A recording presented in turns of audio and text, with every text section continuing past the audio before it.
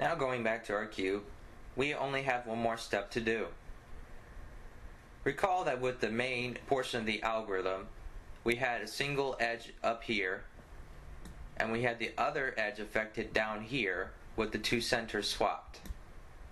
Well, we have two centers swapped and an edge, and we have an edge here which with a U2 setup move can be separated completely and put on the opposite diagonal side.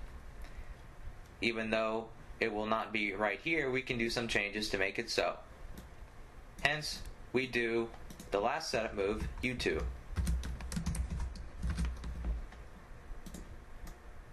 And then we have a single edge separated from the rest.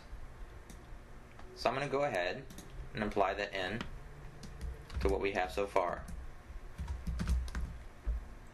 Before we try to match it perfectly with what we have, why don't we just try to finish this algorithm off? From this point, all we need to do is to set up move R2.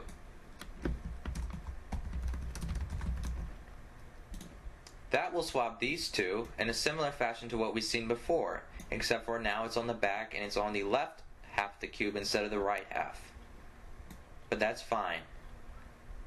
And instead of doing the moves R, U2, R prime, since it's in the back like this, we just do R prime, U2, R as setup moves. And then that will fix it completely. Adding those moves in, this is the algorithm in its entirety. As you can see, it's a lot of moves, and we can start doing some cancellations. This U2 and U2 go, this R prime and this R will go. And this R2 and R prime will just become R. Leaving us with the following result.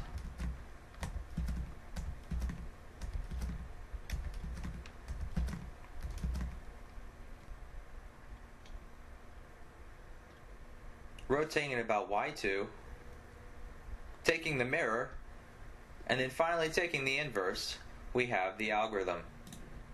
As you can see, this algorithm is almost identical to the standard algorithm, except for some outer moves are different, and one internal setup move is different, but almost identical in nature. I hope you enjoyed this video. Bye now.